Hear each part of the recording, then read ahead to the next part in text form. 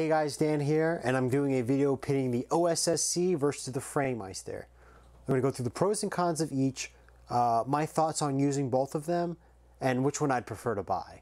Uh, I think you guys probably already know, but let's get into it. Now, uh, I figured the best way to make a video where I pit the OSSC versus a Framemeister, or an XRGB Mini, however you refer to it, um, is just by listing off the pros and cons of each and uh, leaving it up to you guys. Uh, obviously, as you can see, I already made my decision. It's the OSSC that does it for me. I sold my Framemeister, I got rid of it. But some people still prefer the Framemeister, and for good reason. Uh, so let me just go over some of the pros and cons. I'm going to start with the OSSC because that's what's in front, and then I'll go into the Framemeister. There's probably going to be some crossover here and there in this conversation also, though. Uh, so first thing for me, uh, I know some people disagree, but I think the OSSC is just easier to use. Uh, as long as you have a compatible display and things like that, uh, you, you, you, come over some, you know, some of the compatibility issues, which I will get into. It's, uh, it's a lot easier. I flip it on, I pick what type of input it is, and uh, what type of uh, line scan line multiplication I want, and it's done. So that, that takes about a 25 second uh, setup time, I guess you could say. Meanwhile, on the Framemeister, it could take a long time because I got a lower profile and things like that. Um, and then if it's, I got to set it to the right mode, and I, I just, it just had some issues.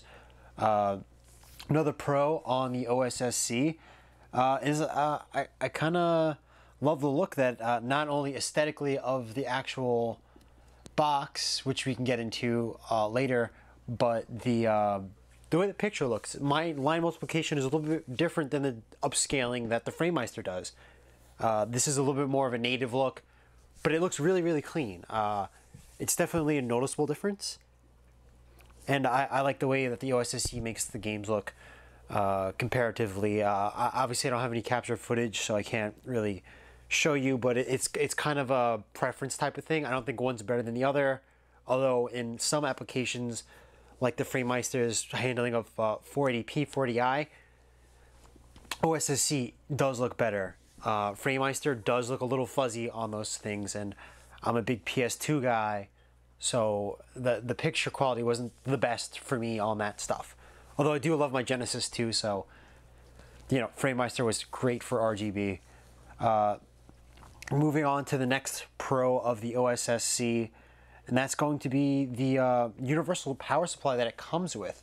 So it's, uh, you, you probably saw in the unboxing video, but I'll also show you right now. It does, it's a, it's a regular, you know, wall wart that it comes with, but it comes with this little pack over here. And uh, you pick out which one you need, obviously for your region. Obviously, I, the one for the America is taken out, but you can slide in whichever one you'd like for whatever region you're in, plug it into the wall. You don't have to worry about it. it it's going to work. Um, Framemeister, I know some countries they got to get a PSP Go power supply.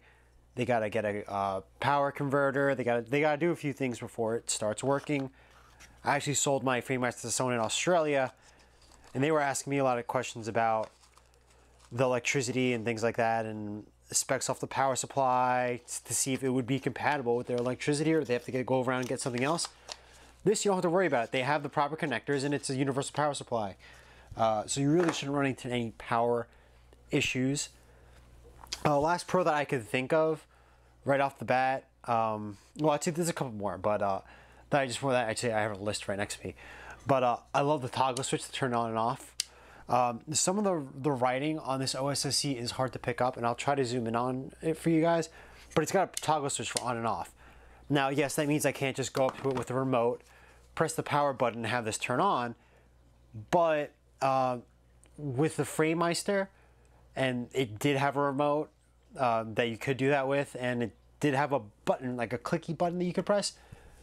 Unless that light was engaged, you never knew if it was on or off or anything like that, and it took a couple seconds for it to turn on, and start initiating and doing the things you wanted to do. This is just a quick, okay, we're ready to go. You know, give it a second to pop up on the screen, select your input, select what scan line you want, and you're ready to go. You're playing your game. The Framemeister had a little bit longer of a setup time.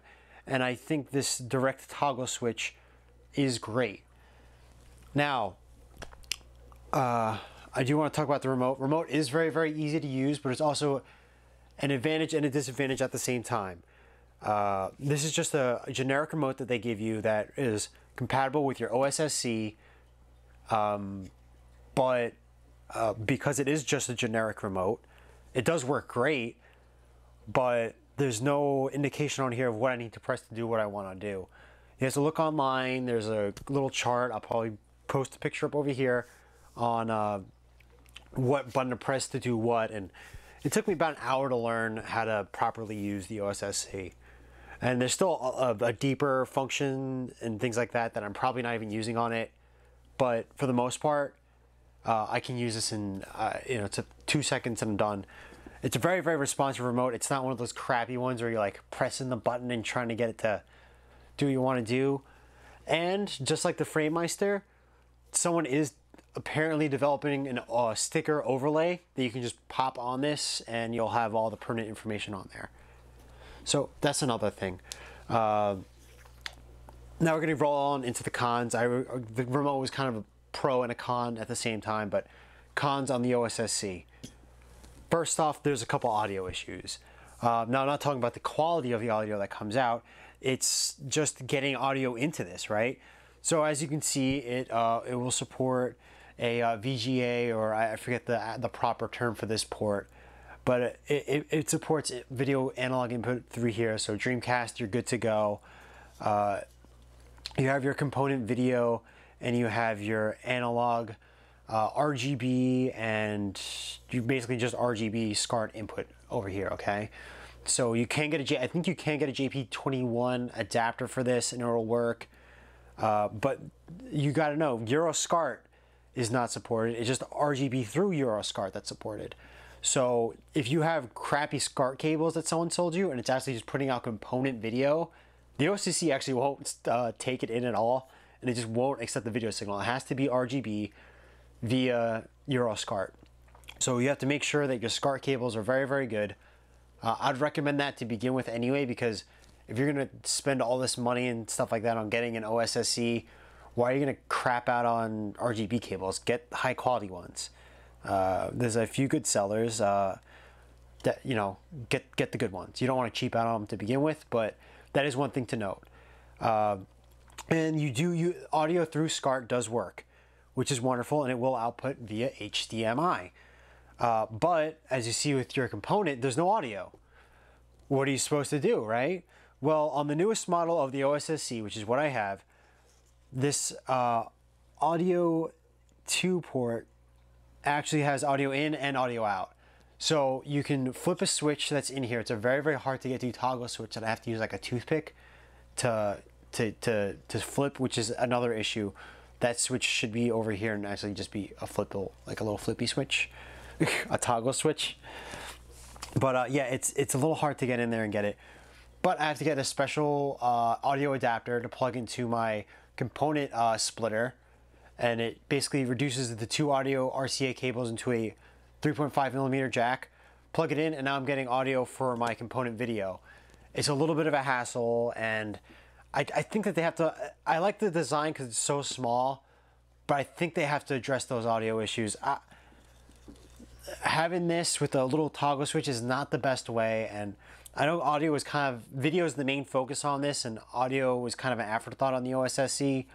And you can always run your audio out to a, a outboard sound system and stuff like that or a receiver. And that might, be, that might be the better option. But for me right now, it's a bit of an issue to do that. Um, yeah, and then you also have uh, audio out via HDMI and you have another 3.5 millimeter jack. Uh, let me just swap out batteries because it's about to die. Hallelujah, got a fresh battery. Okay, so uh, another disadvantage uh, on the design of this, and it's an advantage or disadvantage. Again, this one's a small gripe. It doesn't support component, doesn't support S-Video. Now, you're not going to really be making S-Video or component look any better. Uh, it looks kind of crappy on the FrameMeister, and honestly, it accepts it, but it's like, why are you even doing that? Uh, the only advantage for me was everything ran through one HDMI port on my TV. So you do, if you don't have those inputs on your TV, you're still able to put those through over HDMI. It, it did a decent job. It, it, didn't make it look any better, but it was an option. Uh, OSSC only takes component video, only takes VGA, only takes SCART, which is kind of if you're buying these things, the only things you're going to want to use. I would like to see an HDMI input maybe, just to whittle everything down to one HDMI port. But uh, yeah, that it, that's another issue. That just less supported inputs on it than the FrameMeister. Uh, a couple things I do like. It's got these little switches over here, these little buttons over here. They're kind of nice, and uh, I kind of like the look of it, the aesthetic. These are other things that you know. These aren't really pros or cons. These are just my personal feelings about it. Uh, another major con that I actually I didn't write down, but it's actually a huge con, is display compatibility. Uh, the OSSC puts out very, very weird resolutions, and if your TV isn't uh, 100% okay with that, you're going to get a lot of unsupported formats, unrecognized format errors on your TV. So you're going to want to check compatibility with this before you uh, go out and buy it. Or if I did, like I rolled the dice and it didn't work with my display. I'm running two displays right now. If you watched my uh, collection video, it's gonna be very, very temporary.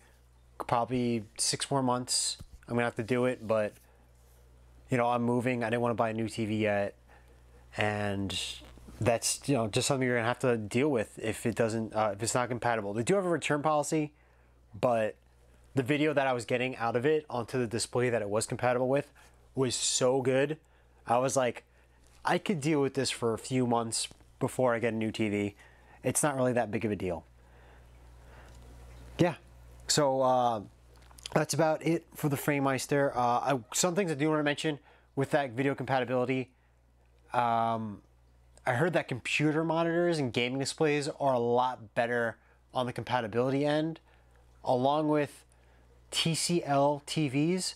And I heard Vizio was pretty good but I heard that there was a patch on some TVs that makes it not great.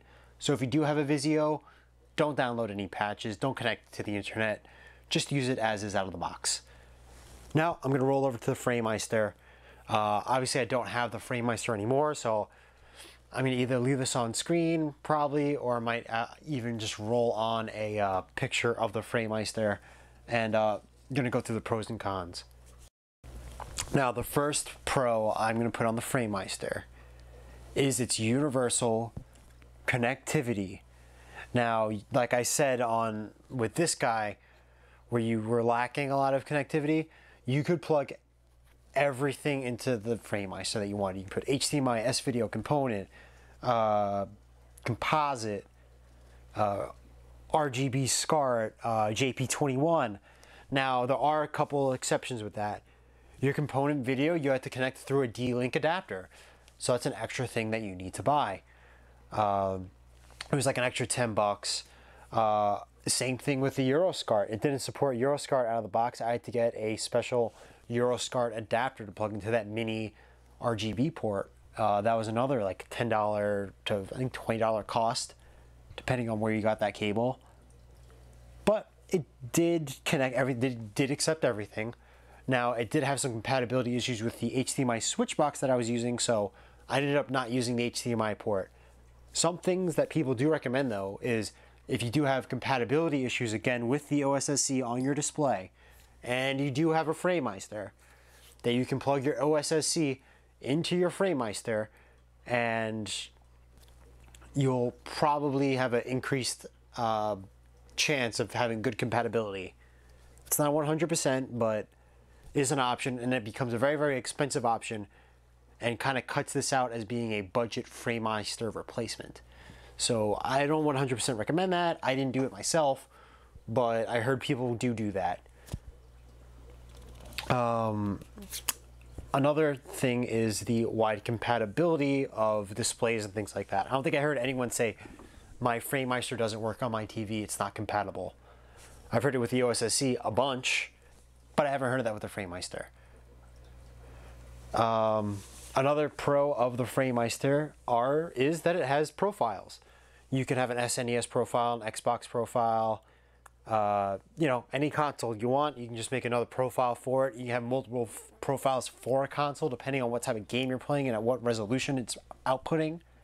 But the profile system on there isn't very, very great. For the first part, you can have profiles, load them, but then there's like another setting you have to also enable to make it look nice. Um, on top of that, there's a certain amount of profiles that you can store. It's not unlimited, and you're probably gonna want more. I believe it's 13, and you're probably gonna want more than 13 profiles on your uh, FrameMeister. Sorry about that. Um, still a little sick, so breathing gets a little hard sometimes because I can only breathe out of my mouth right now. I'm like still so congested. But uh, yeah, want to get on with this video. So yeah, profiles, limited in number, and they're still they're not 100%. It's not like you select a profile and you go. It's uh, there's a bit of a process with it. It takes a while. You have to load it a special way. It's kind of annoying.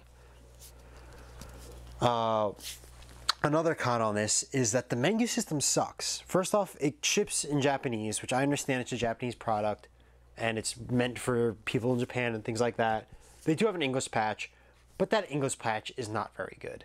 It's it, it, it's it's clunky to navigate. It's just non-responsive sometimes, and it's it's very very confusing. And the settings on it aren't great. The OSSC is better equipped. Yes, you don't get an on-screen menu, but you're looking at this little screen over here, and for the most part, you can do anything you want on it pretty well. It's nicely legible. You can patch it through the front. There's a little SD card slot. See the little SD card sticking out? I can just pull it out. I can patch it if I want.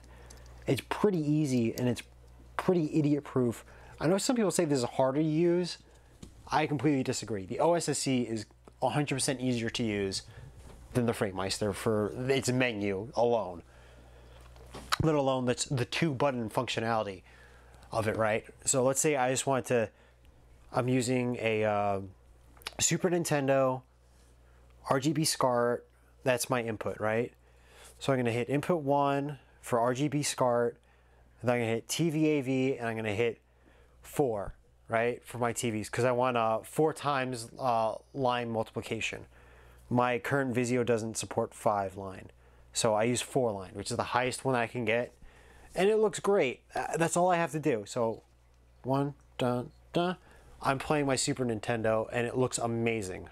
That's all I have to do and uh, that's the way I had it, that's the way I had it set up. You know, it took me an hour to learn and how to set a couple up a couple things on here, but besides that, I'm done. There's no uh, crazy menu navigation every single time I want to play a game. A lot of times I'd have people over and I'd try to start up a game. It would take me like 10 minutes to get my profile loaded, to get the right aspect ratio, do all this stuff. It's really, really clunky to use. And uh, on top of that, I'm a PS2 guy. I already said this to you guys. I do a lot of 480i, 480p gaming. On the FrameMeister, it just doesn't look as good. It's sharp. It's got. A, it's not that sharp. It's got some like fuzziness to it. it. It's just. It's got a blur on here. This just does a better job of handling it, in my opinion. I think it looks better. Better. Another disadvantage is again is the remote. I know I kind of use the remote as an advantage disadvantage on the OSSC, it's not good on the FrameMeister. I felt like it was unresponsive sometimes. The uh, layout was confusing. Yes, I did get the sticker to translate, and it just still didn't. It didn't do it for me. I just I, wasn't a fan of the whole setup and stuff like that. And it's you know, it it's an expensive system. Again, it's another cost, uh, uh, another con. I put cost down it was a lot more expensive than the FrameMeister, and it, it just didn't work as well. This is so versatile and user friendly that the, the FrameMeister is just it, it, was just too much money. It's like an extra hundred bucks, I think, for the FrameMeister. And yeah, it's an officially produced product, and you have to import it and all these things. These are just more disadvantages. People might use those as excuses as to why I'd say it's an extra disadvantage. And one last thing, I'm putting it as a con because it's increasing the uh, the demand because there's less supply of it. They're no longer producing the Framemeister. That's it. Whatever's out there is out there. So if you wanted one, go on eBay. Uh, Solaris of Japan might be selling them still. I don't know. I know I had one of the last runs of it. And it's, you know, where are you to find it? eBay? I know I sold my Framemeister for like a hundred, no, not a hundred, $340. And the guy paid $40 to have it shipped to Australia. Like, are you kidding me? The guy, I, I, he paid $400 for it. And like, I've had other people message me during the auction, why are you selling this? Uh, I know, asking me questions about, you know, like, does it not work? Things like that. They like want to know why I was getting rid of my Framemeister. And I just, I told them, I bought an OSSC and I'm so much more happier with it. I don't need the Framemeister anymore. Yeah, that might not be the smartest thing to tell people when you're trying to sell it. But a lot of people were like, what? What's an OSSC? They'd look around, they do some research and go, oh, uh, yeah, I'm not going to bid on it anymore. I'm going to remove my bid and I just want to buy an OSSC instead. That happened to me a lot. High bidder pulled out a lot. And you know what? That was fine with me because I, I wanted people to make an informed decision while buying this stuff. And uh, yeah, that's that that's as far as I'm going to go on that. One thing I did want to note on it, I wish these letters on here, I'm going to zoom in. You can see little letters on this, right? Oh, let me let me focus because now it's of course it's not focusing. You can see the little letters that are etched in over here. They're perfect for being up close. Oh, why is it not focusing? There we go. I don't know, it just doesn't want to focus.